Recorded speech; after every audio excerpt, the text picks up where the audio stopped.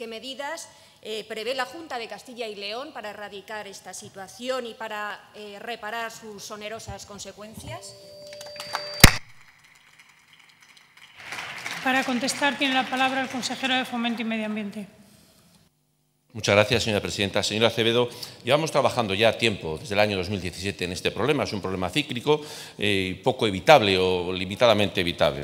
Eh, ¿Con medidas de qué tipo? Medidas normativas, de gestión y, sobre todo, impulso para que los auténticos responsables de solucionar esto, que son los titulares cinegéticos de los cotos de caza, dado que, como ya explicaré, y usted sabrá, el conejo es una especie cinegética donde es coto de caza, para que impulsen sus medidas de caza y de control de la población. Y, desde luego, para que esa, esa otra parte de acervo de, superpoblación de conejos, que son las infraestructuras de carretera y de ferrocarril, sus titulares realicen las labores correspondientes de control poblacional. Por lo tanto, estamos trabajando ya desde el año 2017 y luego podré ampliar esa información y la que usted me solicite. Muchas gracias.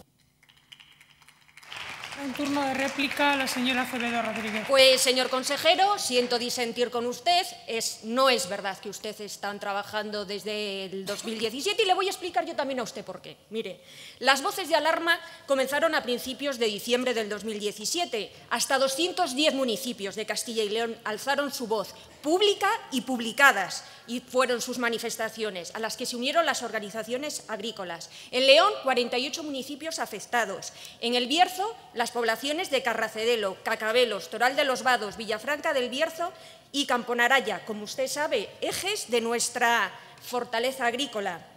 Sabe usted, señor consejero, que estos animales son especialmente depredadores y ustedes le contestaron, así como usted me ha respondido ahora, echando balones fuera. Es una especie cinegética, allá se las apañen ustedes con los cotos. Hicieron oídos sordos a las reivindicaciones de los agricultores del Bierzo. Señor consejero, usted sabe que están desesperados, es público y notorio. Y ustedes no han actuado con la celeridad y eficacia que se le han demandado, no han aportado las soluciones les ha faltado mucho dinamismo. Hoy, hoy ha comenzado el desbroce, el 20 de marzo, ese que, han propuesto ustedes, la Junta y la Diputación de León, tres meses y medio más tarde, cuando ya se había demostrado la nula eficacia de la caza. Ya se lo, ya se lo habían dicho los agricultores, que eso no iba a funcionar. No, pero ustedes prefirieron escuchar a los palmeros, esos que hay en todos sitios, antes que a los agricultores. Mire, y tres meses más tarde, el 15 de marzo, constituyen ustedes una mesa con todas las administraciones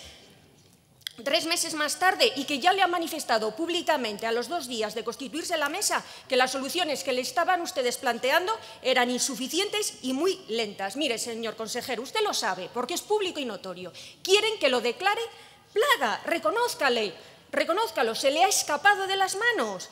Tienen que idear ustedes un plan más eficaz de, control y extinción de la plaga y, sobre todo, mecanismos de reparación, porque es, de importancia capital la reparación de los daños, porque los agricultores del Bierzo se quejan de que no pueden hacer frente a los costes de los seguros. Mire, usted sabe que vivimos aplastados en el Bierzo, entre incendios, sequías, heladas y ahora plagas de conejos. Es que, mire, el sector agrícola del Bierzo adolece de graves problemas. Necesitamos una actuación inmediata y decidida. Usted sabe que se concentraron los agricultores y los ganadores del Bierzo delante de la delegación de la Junta de Castilla y León. Y hablaron muy alto y claro, señor consejero. Y con su permiso voy a reproducir sus palabras aquí en, en este hemiciclo para que lo oiga todos los procuradores y me gustaría que estuviese el señor Herrera, que también lo oyese, que se enterase bien de lo que, de lo que el campo berciano necesita. Porque ellos dicen Señora que Acevedo tiene termino, que termino ya. Ayudas para la instalación de los sistemas antieladas, modernización de los regadíos, adecuación de las ayudas de la PAC y de los seguros.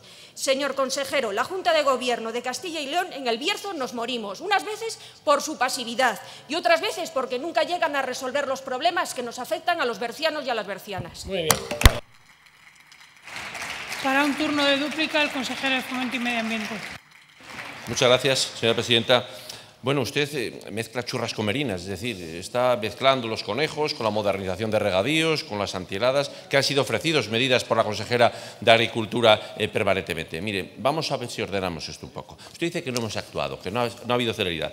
Hombre, la orden de caza que entró en vigor el 1 de julio del año 2017, el año pasado, no me diga que no, si no sabe lo que le voy a decir, espera un momentito, contempla dos anexos, el anexo cuarto y el anexo quinto, donde hay 180 municipios que no necesitan autorización los titulares cinegéticos para hacer actuaciones de control de esos conejos. Porque es que quiera o no quiera, si yo quisiera coger una escopeta como consejero e ir a cazar conejos, no puedo, porque no soy titular de ese aprovechamiento. Están las normas de propiedad, está el Código Civil. Mire, los cotos de caza la caza que hay allí es de los titulares de los cozos, de los cotos, que tienen que cazar o controlar la población. Y mire que no, que no se puede hacer todo como uno quiera. Y no, venga, a la Junta vamos allí a recoger toda la caza que no cazan estos señores. No, hay que hacerlo conforme a la ley. Y ellos son los responsables de cazar y si no, de controlar. Y si no, de responder patrimonialmente y civilmente de los daños ocasionados. Papá Junta no puede estar en todo. Las relaciones jurídicas son las que son y las obligaciones son para los que son titulares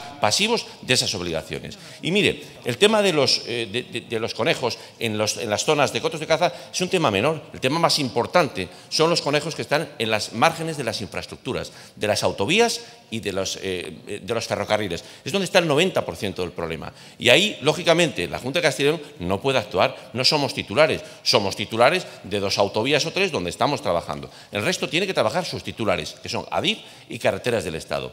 Y no desprecie usted el diálogo que tenemos formalizado con las OPAs, con las organizaciones de agricultores y ganaderos, donde hemos tenido constantes reuniones por la tarde maratonianas para buscar, para concienciar y para sentar a la mesa a todos los que tengan algo que hacer y decir. Y ahora mismo le puedo decir que se están llevando operaciones de descaste por parte de ADIF en numerosas zonas del territorio, tanto de las vías que están en construcción del AVE como las vías convencionales, y Carreteras lleva ya treinta y tantas autorizaciones de descastes con cientos y cientos de conejos descastados, abatidos y controlados. Y esa es la vía, señora. No el tratar de decir, vamos, salgan ustedes a cazar los conejos. No, conforme la ley y por sus responsables, que son los titulares de los cotos de casa y los titulares de las infraestructuras donde existe ese problema, que están acometiéndolas ahora mismo con rigor y con bastante presteza. Por tanto, esperemos que todo esto se solucione y estamos también tratando de tomar medidas para que en el futuro esa dimensión de esa población no se produzca de una forma tan abundante. Muchas gracias.